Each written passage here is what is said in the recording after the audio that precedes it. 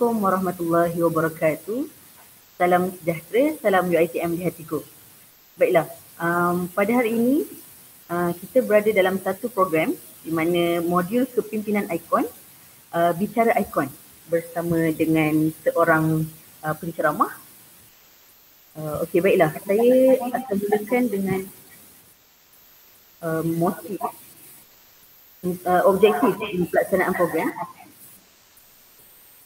di mana uh, objektif ni adalah um, memupuk kecemerlangan mahasiswa UiTM Terengganu sebagai ikon dalam pelbagai bidang, memberi pendedahan kepada pelajar UiTM Terengganu berkenaan anugerah tokoh siswa ATS dan seterusnya meningkatkan kemahiran insaniah di, di kalangan pelajar UiTM. Okay, um, bersama saya pada hari ini um, adalah uh, Cik Nur Ain Nabisha binti Azli merupakan tokoh ikon kebangsaan 2016 kalau tak silap saya. Betul ya? Betul. Betul. Uh, apa khabar Cik Ain? Ah, sihat alhamdulillah. Alhamdulillah. Okey. Okey, um, uh, boleh uh, okay, pada permulaan ini boleh saya minta Cik Ain untuk perkenalkan diri. Ah, boleh boleh. Okey. Uh, Assalamualaikum semua. Selamat petang. Uh, nama macam uh, Cik Siti cakap tadi, uh, Nur Ain Nabisha, boleh panggil Ain je. Uh, umur 25 tahun, asal daripada Langkawi. Lepas tu uh, sekarang saya sedang melanjutkan pelajaran dalam master uh, kuasa saya Sains Pembangunan Manusia.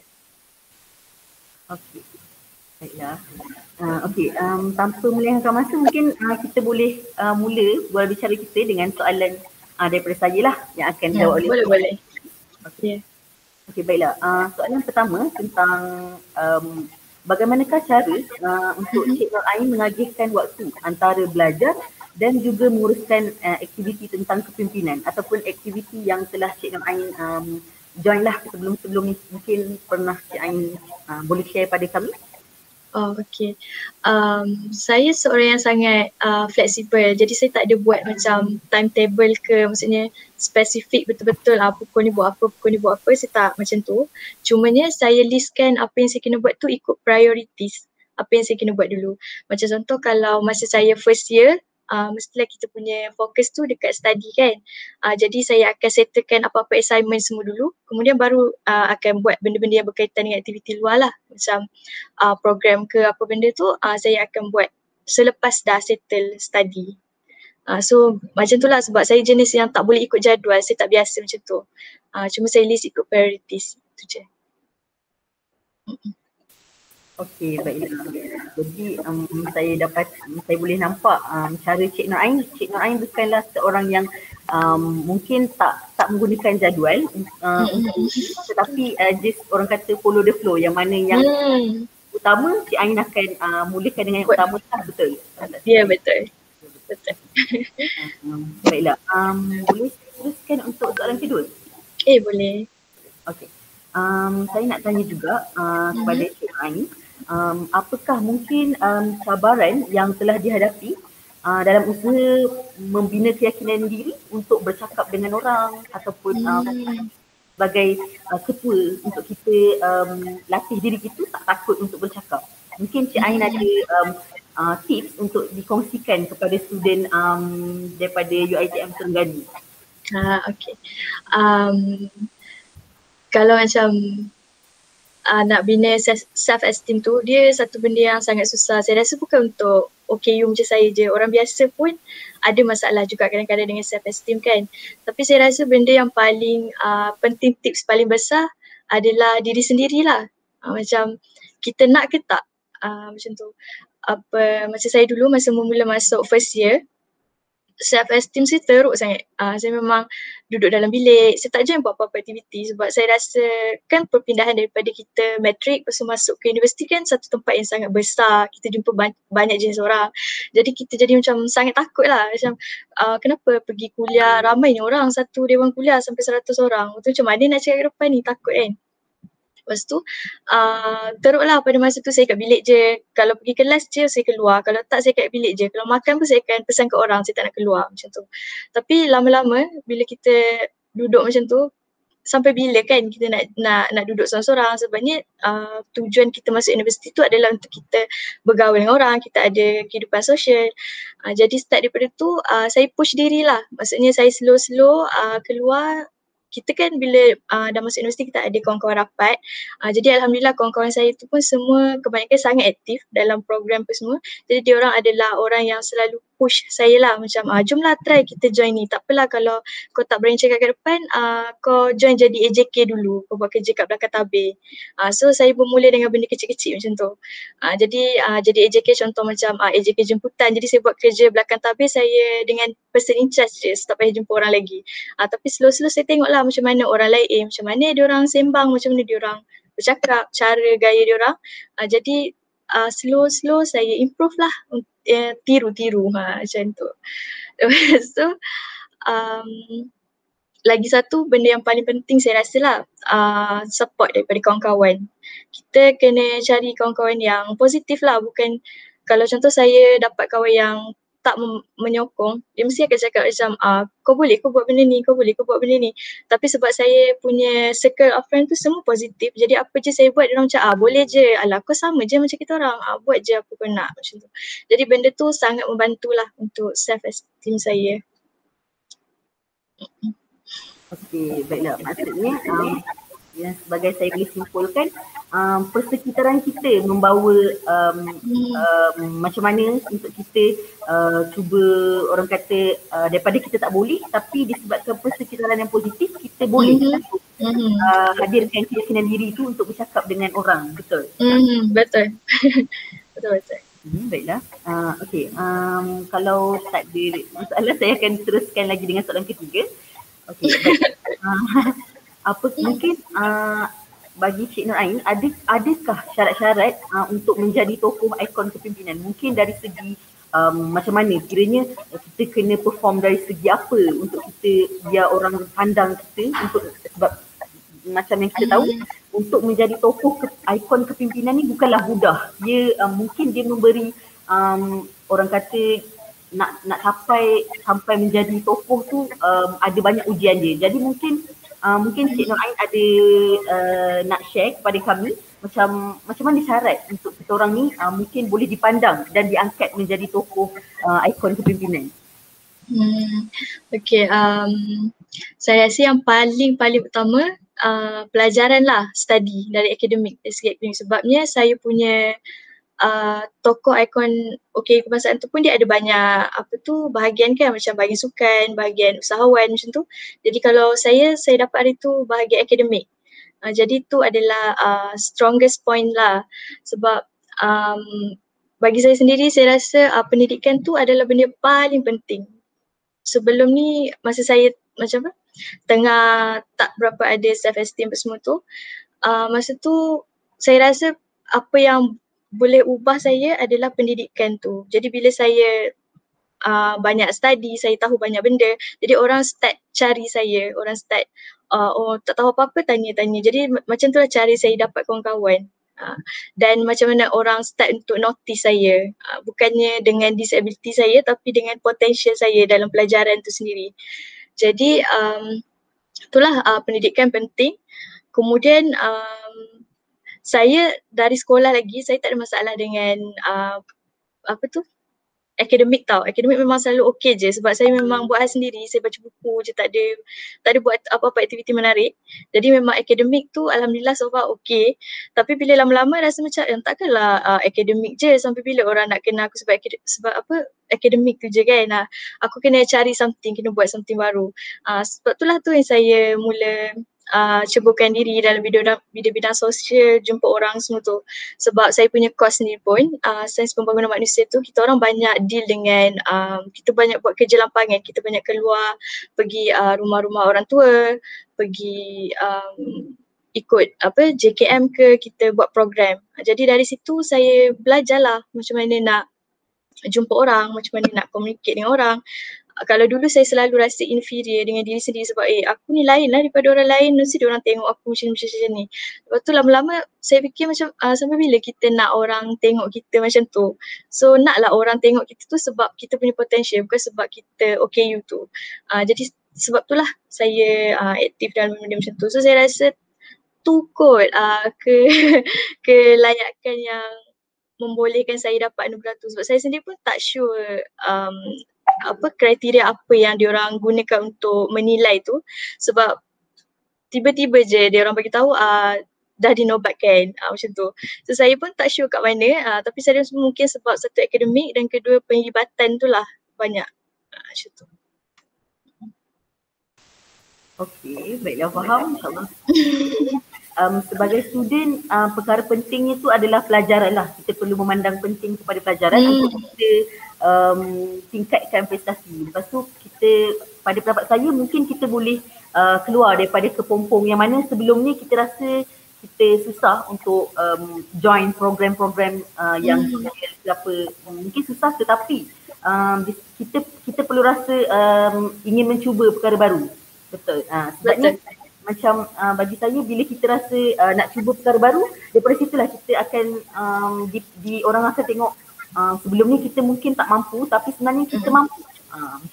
Untuk kita um, uh, jadi diri kita yang orang lain kenal sebelum ni macam ni tapi uh, selepas hmm. kita mampu untuk jadi seperti orang lain. Yeah. tentang uh, walaupun kita um, macam macam tak berapa orang kata macam tak berapa uh, macam orang lain uh, tapi bagi saya Cik Nur Ain mempunyai um, uh, satu semangat lah untuk mencuba walaupun uh, pada mulanya sedikit malu-malu orang kata tapi rasa cuba tu uh, jadikan Cik Ain mungkin mendapat tokoh um, itulah ikon hmm. okay. uh, baiklah Cik Ain uh, untuk soalan seterusnya uh, mungkin um, saya nak tanya um, apakah um, cabaran ya, apakah harapan uh, kepada uh, mahasiswa dan mahasiswi yang sekarang? Maksudnya macam Cik Ain rasa um, apabila kiranya contoh uh, Cik Ain dah mendapat, telah pun mendapat um, uh, tokoh ikon kepimpinan jadi mungkin Cik Ain ada uh, nak share kepada student um, sebagai uh, tokoh ikon kepimpinan ni uh, apa harapan Cik Ain untuk um, student supaya diorang boleh uh, jadi diri diorang yang um, sebenarnya diorang uh, tak mampu tapi orang mampu sebenarnya. Jadi apa harapan Cik Ain kepada mahasiswa dan mahasiswa sekarang? Hmm, harapan eh, uh, susah tu harapan. Um, saya cuma harap yang uh, mahasiswa-mahasiswa sekarang boleh apa tu benda penting sebelum nak buat apa-apa tu kita kena kenal diri kita macam saya cakap tadi sebab kalau kita dah tahu kekuatan kita kita tahu kelemahan kita jadi tak mudah untuk kita uh, terikut dengan kata-kata orang lain macam saya bagi contoh dulu masa saya first year second year tu uh, banyak benda saya nak cuba, banyak benda saya nak buat. Tapi uh, bila saya tak kenal diri saya, saya senang dengar cakap orang. Contoh orang cakap, eh kau nak buat benda ni? Uh, aku boleh kau buat. Contoh macam saya nak ambil lesen kereta.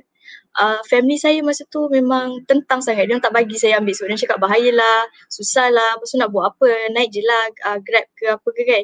Uh, tapi sebab uh, saya kenal diri saya, saya rasa eh aku rasa aku boleh bawa kereta. Aku tengok orang bawa macam okey je, uh, tak ada masalah kot. Jadi saya fight lah untuk benda tu saya buat sebab saya tahu diri saya. Walaupun orang semua marah tapi saya cakap tak apa, nanti dia orang akan tahu. Jadi uh, sampai sekarang Alhamdulillah dah tiga ke empat tahun saya bawa kereta sendiri. Ah, uh, lepas tu mak saya sekarang pun mana-mana, ah, uh, kakak jom pergi beli ni barang, kakak jom pergi sini. Ah, uh, jadi maksudnya benda tu takkan jadi kalau saya tak tahu saya boleh ke tak kalau masa tu saya rasa macam oh betul lah dia orang cakap buat apa aku nak bawa kereta ni ni. So mungkin sekarang saya tak akan dapat lesen kereta tu. Jadi benda-benda macam tu lah. Maksudnya apa tu kita kena tahu kekuatan dan kelemahan diri kita dulu sebelum kita boleh uh, nak buat sesuatu benda. Um, journey untuk kita kenal diri kita untuk tahu like apa kekuatan kita, apa kelemahan kita, dia akan ambil masa. Sebabnya uh, benda tu orang lain tak boleh bagi tahu kita nak buat apa. Kita sendiri yang kena uh, fight untuk apa tu? Untuk diri kita sebab kita je yang kenal diri kita sendiri. Orang lain tak tahu. Dia orang hanya nampak apa yang dia orang nak dan apa yang dia orang uh, merasa betul bagi dia orang. Ha, jadi itulah. Uh, dan cara untuk kenal diri sendiri tu uh, kalau awak orang yang jenis macam susah nak nampak uh, tulislah. Maksudnya senaraikan uh, kelemahan kekuatan kita. Uh, so senang kita nampak dengan benda tu. Kemudian kita eksperimen lah dengan banyak-banyak benda-benda baru. So kita tahu yang mana sesuai untuk kita yang mana tak. So harapan saya macam tu lah. Sebab sekarang ni um, kita kena ada apa self concept yang sangat kuat uh, untuk masa sekarang. Kita kena ada jati diri. Kita tak boleh macam nak harapkan orang kita nak ni orang.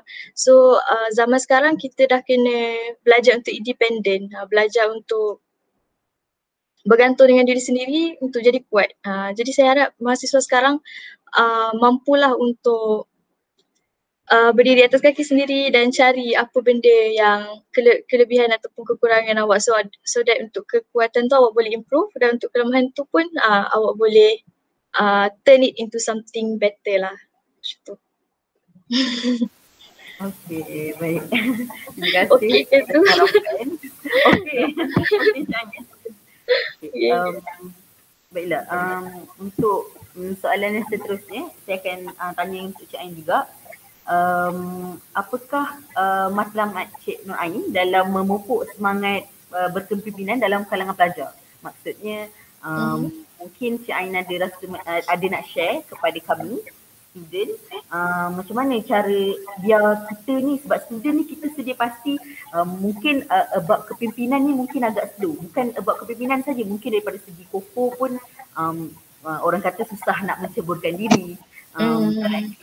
Kelab ke uh, orang rasa macam tak perlu pun semua tu tapi sebenarnya uh, untuk kita saya rasa bagi pendapat saya untuk kita um, orang tahu kita uh, boleh menjadi ketua ataupun leader adalah melalui kita uh, join lah uh, program-program hmm. supaya orang tahu kita ni macam mana so um, matla, apakah hmm. matlamat uh, Cik Ain untuk um, memupuk uh, semangat kepimpinan dalam pelajar Hmm.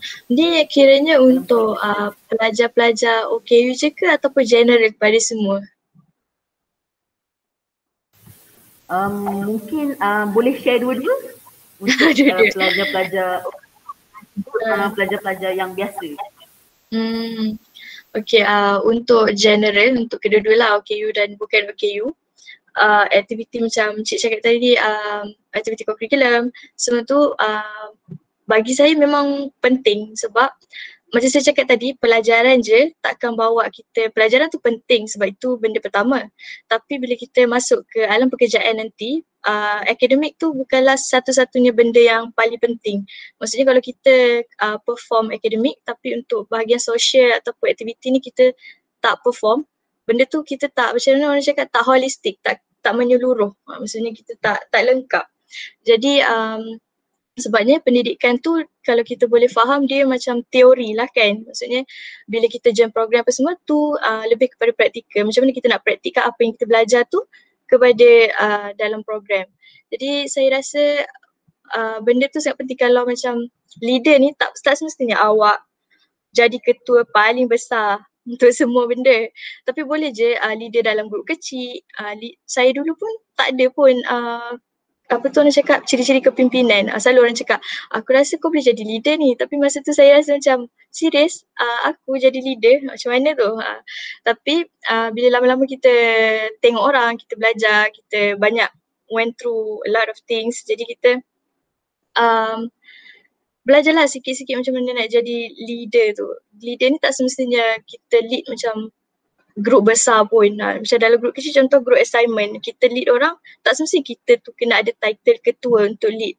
Boleh jadi juga kita sebagai ahli group member pun like kita uh, sort out contoh ah ni nak buat apa nak buat apa nak buat apa. Itu pun dalam satu cara uh, lead juga.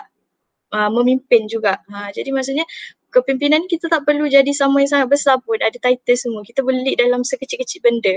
Jadi semua orang pun boleh jadi leader. Ha, jadi um, ha berbalik tadi tu uh, pentinglah uh, aktiviti curriculum ke apa benda semua tu sebab tu adalah social life kita. Kita akan dapat belajar banyak benda walaupun kadang-kadang kita rasa macam alah buang masa lah pergi program ni duduk macam tu lepas buat apa je ni untuk apa kenapa aku kena buat benda ni. Tapi percayalah bila uh, dah berlalu benda tu awak akan lihat balik dan uh, faham yang banyak sebenarnya awak dapat dari situ. Macam contoh saya walaupun saya join program bukanlah jadi top pun um, bukannya macam ketua yang betul-betul uh, urus semua benda saya buat kerja belakang tabir tapi banyak benda sangat saya belajar. Ha, maksudnya macam mana kalau orang perangai macam ni macam mana nak handle. Lepas tu macam mana kita nak contoh nak buat surat, kita nak buat macam mana. Jadi banyak benda walaupun benda tu susah ha, tapi tu semua nanti akan membantu bila kita dah keluar ke alam pekerjaan. Ha, jadi untuk adik-adik semua tu uh, saya harap sangatlah awak rajin-rajinkanlah diri pergi program. Uh, apa-apa yang universiti awak buat apa yang diorang anjurkan tu awak support. Uh, walaupun macam kata kalau tak nak ambil jawatan besar-besar pun uh, sekurang-kurangnya awak support dan ambil tahu apa yang jadi sekeliling uh, macam tu. Tu je. Okey, baik. Terima kasih untuk jawapan itu. So, um, apa yang saya boleh simpulkan, um, maksudnya kita as a student, kita perlu rasa uh, bahawa tak semestinya akademik itu saja yang penting. Sebab um, uh, co-curriculum ni dia sebenarnya membantu kita. Untuk orang um, inilah untuk orang tahu kita. Uh, maybe ke, uh, tak kisah dari segi kepimpinan ataupun co-curriculum tapi asalkan kita mencuba untuk join um, dia dapat menjadikan kita menjadikan kita lebih uh, orang kata uh, ber, lebih berkepimpinan lebih berpengalaman sebab benda hmm. itu mungkin akan dilihat apabila kita dah habis uh, belajar Ya betul. Okey. Um, Okey. Uh, seterusnya saya nak tanya kepada Cik Ain. Um, uh-huh. Apakah um, kira dorongan uh, yang membuatkan Cik Ain um, rasa sebelum ni uh, mungkin uh, tak mampu macam mana? Macam kita Cik Ain rasa macam mungkin benda tu uh, menghalang Cik Ain untuk mencuba tapi apakah dorongan yang ataupun semangat daripada orang sekeliling yang membuatkan Cik Ain rasa aku kena keluar daripada uh, um, tempat aku sekarang. Kepompong aku ni aku hmm. perlu uh, cuba benda tu. Apa apa yang membuatkan dorongan apakah yang membuatkan Cik Ain mampu dan digelar um, tokoh ikon kebangsaan ni? Hmm. Okay. Kalau saya boleh bagi tahu cabaran terbesar, cabaran terbesar saya rasa diri saya sendiri. Sebab uh, kebanyakan masa kita yang meletakkan uh, had pada diri kita apa yang kita boleh buat. Sebab kita terlalu uh, manusia ni kan pandai judge kan. Jadi judgement kita tu selalunya sangat harsh untuk diri kita sendiri. Uh, jadi saya pun macam tu. Saya selalu um, tengok dia sendiri macam alah kau benda ni tak boleh buat, itu tak boleh buat, itu tak boleh buat. So macam um, benda tu yang banyak menghalang. Padahal orang-orang sekeliling dia orang support je saya. Tak ada pun kawan-kawan yang macam cakap ah, aku tak boleh buat benda ni. Dia orang sangat-sangat happy kalau saya cuba buat sesuatu yang baru. Dia sangat support. Ha. lepas tu um, itulah macam saya cakap cabaran terbesar adalah diri kita sendiri.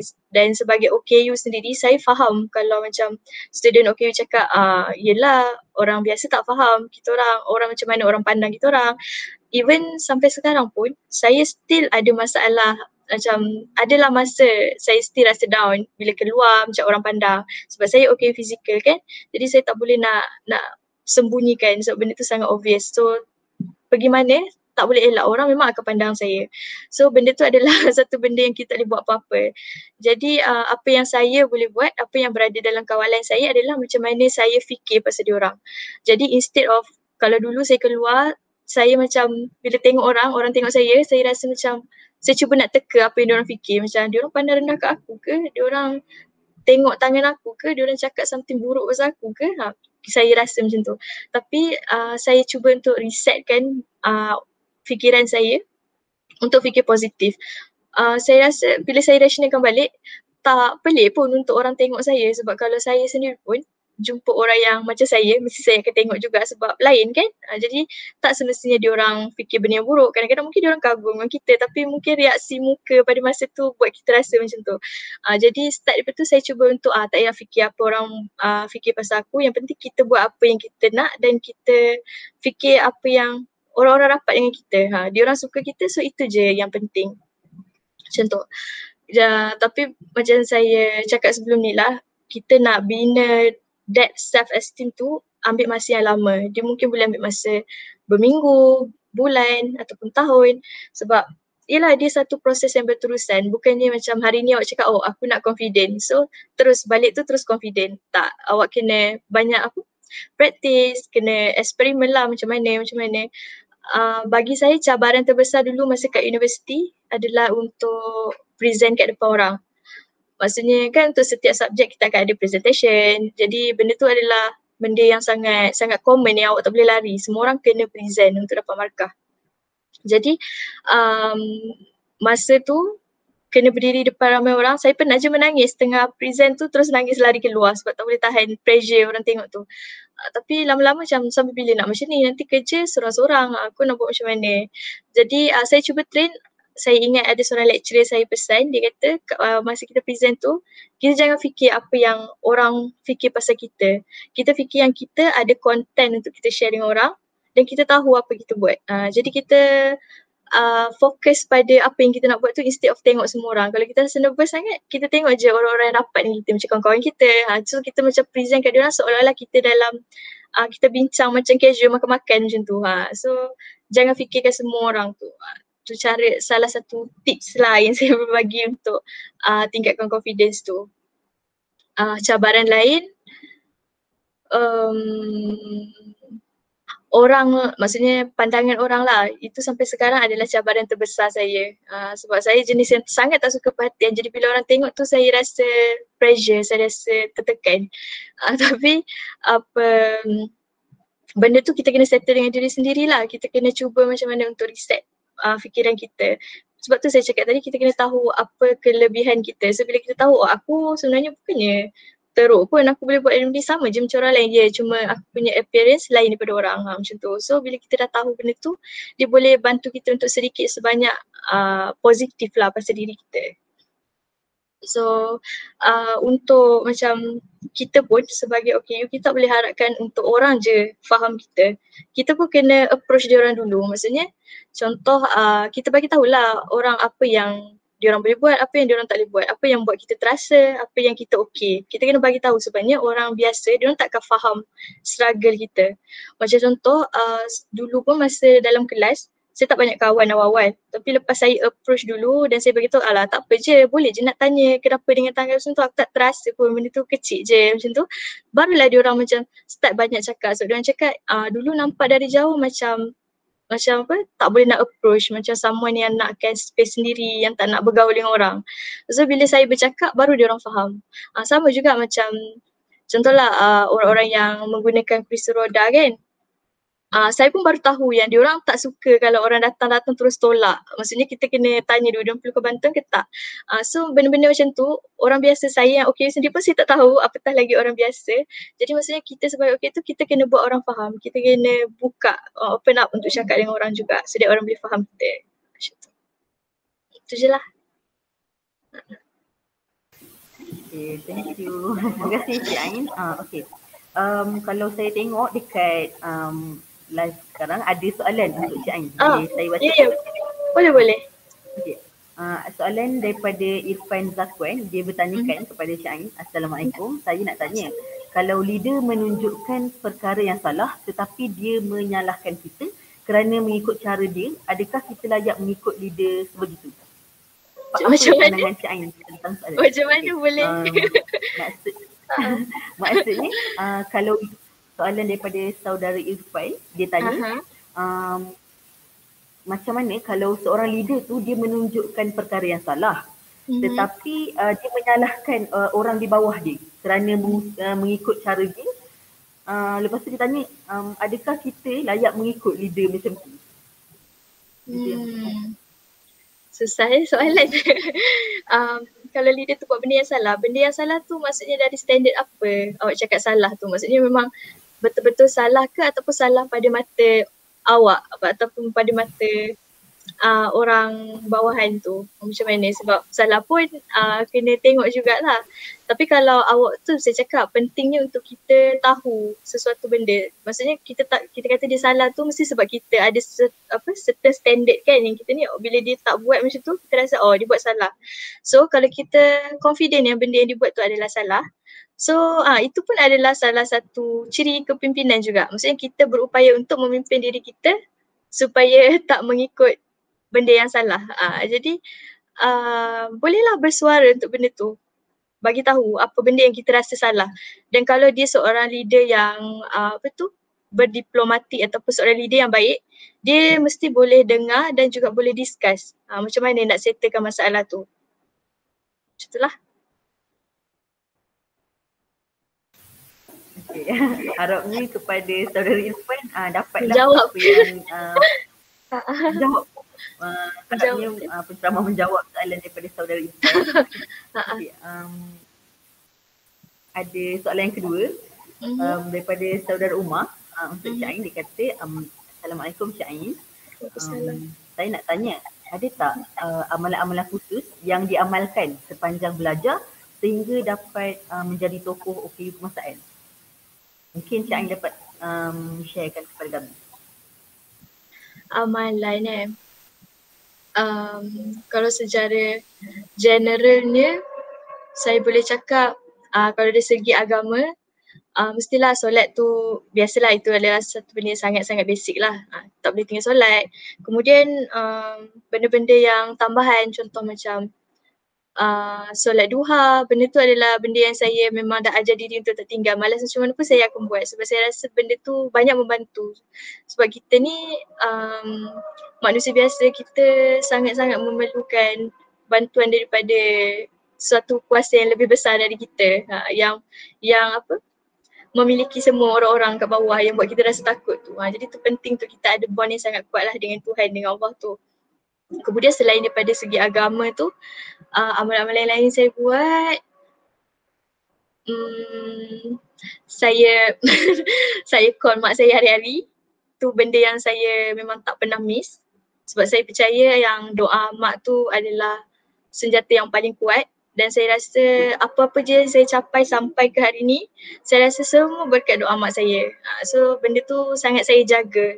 Saya dah tak ada ayah. Jadi uh, mak tu adalah segala-galanya bagi saya.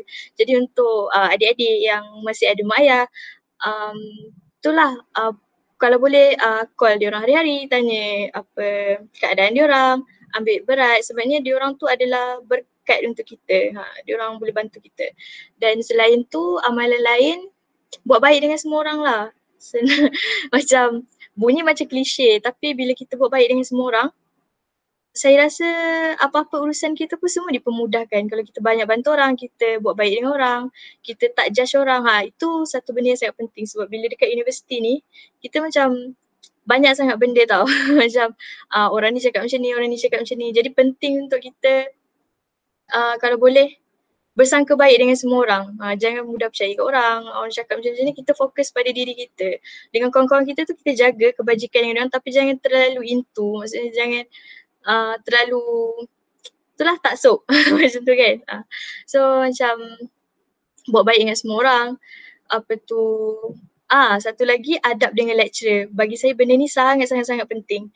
Sebab saya perasan kalau dekat universiti mas kalau budak-budak first year nampaklah macam sangat menjaga datang awal tapi bila dah jadi senior sikit macam tahun kedua, tahun ketiga, keempat tu ah, kadang-kadang tu setengah jam lewat. Kadang-kadang tu ah, buat assignment pun macam sekadar buat ah, ataupun itulah benda-benda yang tidak menghormati uh, lecturer. Walaupun kita nampak benda tu macam kecil tapi berkat kita belajar tu daripada diorang jadi macam mana pun kita kena hormat diorang benda macam tu lah. So harap menjawab eh soalan tadi tu. Okay, um, nampaknya kita ada, kita masih lagi ada soalan. So, macam Ya, yeah, boleh, boleh. Soalan Uh, soalan seterusnya daripada saudara Muhammad Syahmi Syahdan. Dia bertanyakan, uh, Assalamualaikum Syahid. Uh, saya nak tanya, ada tak tips untuk yakinkan diri apabila berdepan dengan orang ramai uh, kerana malu, tidak yakin dan gemuruh? Hmm. Um, uh, tips eh. Um, tips saya rehearsal dan preparation tu ni berdasarkan apa yang saya buat sebab saya pun sangat-sangat malu untuk bercakap ke depan. Sampai sekarang pun saya still ada masalah tu tapi dah okey sikit. Cuma um, preparation adalah salah satu benda yang akan bantu lah. Maksudnya kalau saya contohlah presentation tu hari Kamis, dari hari Isnin tu memang saya dah akan rehearse dah. Ha, pergi makan ke, pergi toilet ke, pergi mana saya akan rehearse apa konten yang akan saya sampaikan sebab saya tak nak Maksudnya nak settle part konten tu at least saya tahu apa yang saya nak sampaikan. Jadi bila kita tahu apa yang kita nak sampaikan, kita tak akan rasa nervous sangat. Dan tips kedua, bila pergi bercakap ke depan tu, kita, macam saya cakap tadi, kita jangan selalunya kita nervous sebab kita rasa macam orang pandang kita ataupun kita rasa macam uh, mata-mata tu apa pressure kita lah. Kita rasa semua orang tengok kita macam tu. Tahulah dia macam tu juga ke? Tapi kalau saya macam tu saya kisah sangat sebab orang akan dia orang judge aku ke? Dia orang tengok aku ke? Baju aku okey ke? Muka aku okey ke? Benda macam tu. Jadi uh, tips dia adalah kita cuba untuk macam saya cakap tadi kita tengok kawan-kawan kita je. Kalau ada kawan-kawan kat situ ha, kita tengok kawan-kawan rapat ataupun fokus kat seorang dalam banyak-banyak audience tu kita tengok siapa yang bagi perhatian kat kita. So kita uh, fokus kat orang tu. Kita cakap tu seolah-olah kita bercakap dengan dia. Kita explain kat dia So benda tu akan bantu. Lepas tu sebelum uh, present tu selalu saya akan uh, selawat, saya akan bacalah doa-doa sikit uh, untuk kurangkan nervous. Selalunya membantulah, tenangkan. Lepas tu satu lagi yang paling crucial adalah teknik pernafasan. Ini adalah benda yang saya belajar dalam kelas psikologi. Uh, awak boleh carilah dekat internet tu macam mana nak buat teknik pernafasan. Rasanya simple je. Dia macam uh, bila awak bernafas dengan betul, dia akan kurangkan um, apa tu? Uh, nervous, nervous tu. Ha, dia macam kurang sikit kalau awak bernafas dengan betul. Uh, macam tu. Lepas tu, hmm, ha, itu je lah kot saya rasa. Tapi benda ni macam saya cakap dia bukannya lepas awak dengan tips saya ni awak balik lepas esoknya awak nak present terus dah boleh present dengan tak gemuruh. Benda ni akan ambil masa. Awak kena try lah setiap kali awak pergi cakap ke depan tu awak try uh, benda berbeza-beza. Ha, macam mana kali ni apa nak buat apa nak buat apa nak buat. So benda ni bila awak dah banyak-banyak kali uh, buat insyaallah awak akan bet- jadi better. Uh, akan jadi improve lah. Macam tu. Okay. uh, menjawab. Tak? InsyaAllah menjawab. Saudara Muhammad Syahid um, seterusnya ada lagi soalan untuk Cik Ain daripada saudari Anis Zulaika.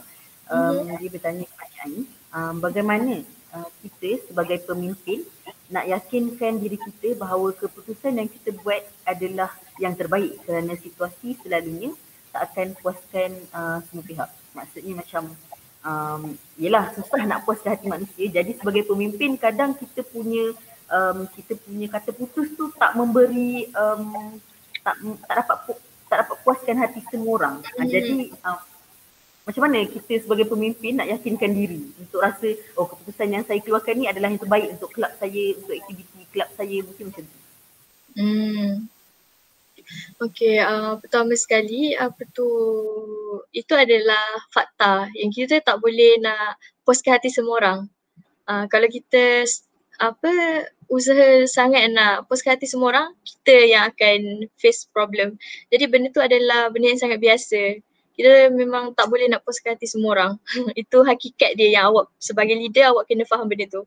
Tapi apa yang awak boleh buat adalah pertama macam saya cakap tadi awak kena tahu apa yang awak buat. Uh, maksudnya um, awak kena ada ilmu lah, awak kena ada knowledge uh, apa benda yang awak buat tu untuk memastikan awak tahu apa yang awak buat tu betul dan juga kalau awak rasa macam ni still tak sure awak boleh minta nasihat daripada orang lain daripada sini ke orang yang apa pakar dalam benda yang apa awak nak buat contoh macam kata awak apa pengerusi kelab ke contoh. Jadi awak boleh je uh, tanya yang pengerusi sebelum ni sini awak tu ha. Jadi awak tanya dia kalau macam benda macam ni macam mana awak nak kena buat, apa yang awak kena buat. Uh, jadi minta tunjuk ajar daripada orang yang lebih berpengalaman. Lagipun tu adalah salah satu cara macam mana awak boleh belajar untuk itulah improve skill leadership awak. Sebenarnya uh, untuk menjadi leader ni pun itu adalah satu skill yang semua orang tak adanya lahir-lahir terus jadi leader. Semua orang belajar dari bawah. Ha. Sebab tu minta tunjuk ajar daripada orang lain. Lepas tu bila awak dah rasa awak tahu dah apa awak buat dan awak pun dah minta tunjuk ajar orang lain, awak proceed je tawakal. Sebab uh, macam, yelah macam awak sendiri cakap, kita tak akan boleh puaskan hati semua orang. Ha, itu adalah hakikat yang awak sebagai leader kena uh, faham dan kena terima. Dan sesiapa pun tak ada orang yang semua orang suka dia. Ha, even artis ke apa pemimpin mana pun tak ada orang yang semua orang suka dia. Mesti ada orang tak suka sebabnya manusia ni kita ada apa taste yang lain-lain, kita ada perception yang lain-lain terhadap sesuatu perkara. Jadi benda tu adalah uh, benda normal. Jadi awak cuma sebagai leader, awak cuba untuk cari jalan tengah macam untuk meredakan macam mana awak nak boleh macam at least uh, bagi satu pendapat yang uh, boleh puas uh, boleh boleh apa? Boleh menyenangkan hati orang tapi tak semestinya maksudnya awak kena ikut apa je yang diorang cakap sebab awak sebagai leader awak yang kena buat keputusan. Macam tu. Okay. okay um, rasanya uh, kita ada, mungkin kita ada lagi dua soalan yang terakhir untuk Cik Ain sebelum kita yeah, yeah. menutup try bicara ikon pada petang ni.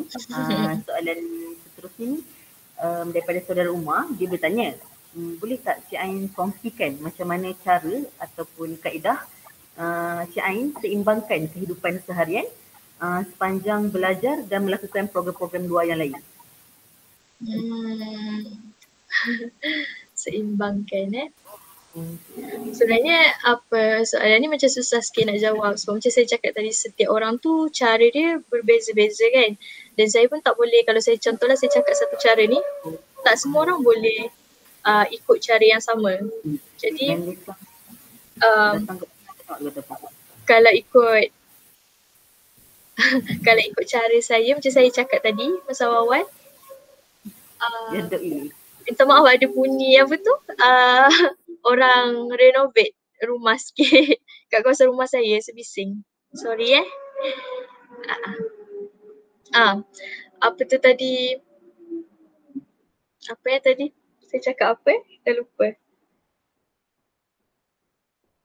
Ah, seimbangkan masa.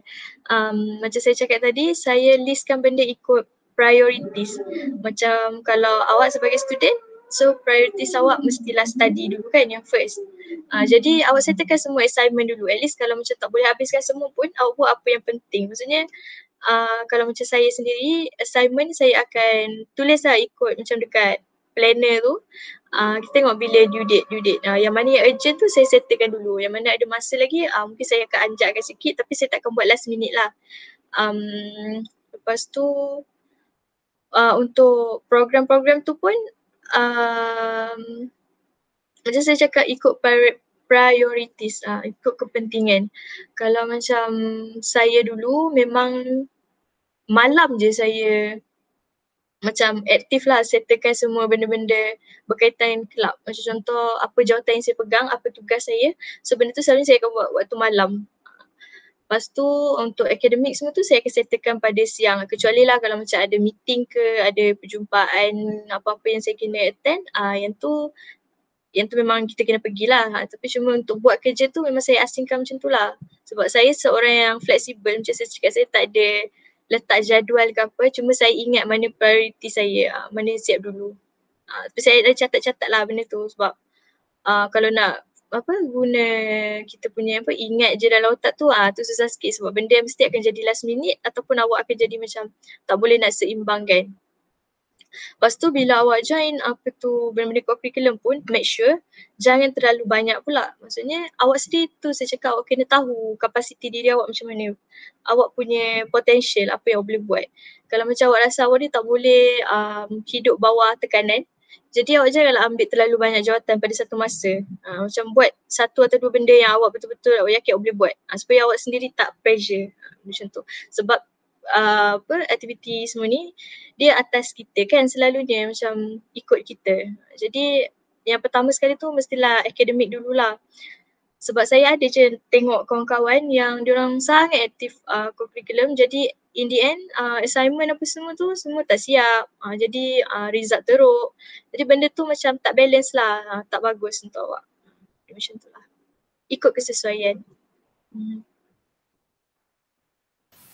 Okay, um, untuk soalan yang terakhir um, ada soalan daripada saudara Mozart dia bertanyakan macam mana uh, macam mana cara untuk menolak sesuatu jawatan ataupun contoh uh, dia dipilih atau disuruh menjadi agensi sesuatu program sedangkan um, sudah ada jawatan dalam program lain. Hmm.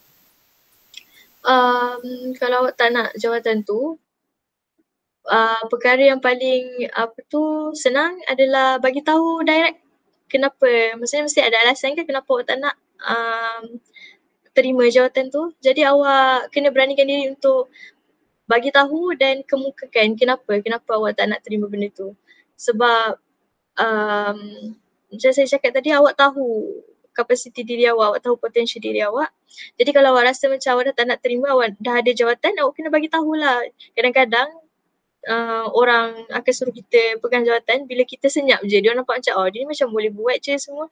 Uh, jadi uh, kau lah pegang jawatan ni kau lah pegang jawatan ni. So macam saya cakap selalu orang takkan tahu kalau kita tak bagi tahu. Jadi bila kita rasa kita tak boleh uh, straight out bagi tahu je orang tu yang awak tak boleh nak pegang banyak-banyak jawatan awak tak boleh nak commit uh, dan awak dah ada jawatan yang awak pegang. So itu je jalan penyelesaian yang, yang paling senang bagi tahu direct. Uh, sebab saya rasa orang tu pun insyaAllah akan faham lah kalau kemukakan alasan yang jelas kenapa. Sebab kapasiti orang kan lain-lain macam tu. okay. Um, Ain. Jadi um, masa mencemburui kita nampaknya. Nah. 3.25 petang. Um, terima kasih. Uh, saya mengucapkan terima kasih kepada Cik Ain lah. Uh, kerana hmm. sudi uh, berkongsi um, tips-tips dan juga um, beri semangat lah kepada kami mungkin um, dapat dijadikan uh, hmm. uh, contoh untuk kami di kemudian waktu insyaAllah. Maksudnya uh, saya, nanti uh, nanti kalau macam diorang ada apa-apa lagi soalan uh, boleh je kalau macam diorang tanya dekat Facebook saya uh, cari je nama Ain Nabisha so awak boleh je DM kalau ada lah soalan yang tak sempat nak tanya kat sini uh, saya okey je kalau ada diorang nak tanya lain uh, bolehlah DM dekat Facebook je. Okay. Um, jadi um, saya um, sebagai uh, moderator um, uh, mengucapkan um, berbanyak terima kasih lah kepada Cik Ain sudi meluangkan masa dan juga uh, share uh, tips dan juga uh, beri semangat kepada kami. Uh, mungkin hmm. dapat kami gunakan um, uh, untuk uh, di kemudian harinya mungkin dapat menjadi suntikan semangat kepada kami. Uh, kepada para pelajar juga semoga dengan uh, sesi perkongsian daripada uh, penceramah kita sebentar tadi kita sebagai pelajar dapat uh, mengimplementasikan uh, cara-cara yang telah dikongsikan ataupun tips-tips yang telah di-share um, dalam dalam kehidupan seharian kita sebagai seorang pelajar lah. Uh, jadi sesiapa yang mungkin um, nak bertanya tetapi um, tak sempat uh, macam Cik Ain kata tadi boleh tanya di Facebook uh, Ain Nabisha betul? Ya yeah, betul. Okay. Di Facebook uh, Cik Ain. Okay. okay. Um, Allah kalau um, suka saya ingatkan uh, kepada mahasiswa dan mahasiswi untuk uh, isi borang KI dan juga kehadiran di kotak description. Okay. Harap uh, semua maklum. Itu saja. InsyaAllah tak ada apa-apa. Terima kasih Cik Ain sekali lagi. Alright. Sama. Assalamualaikum. Assalamualaikum.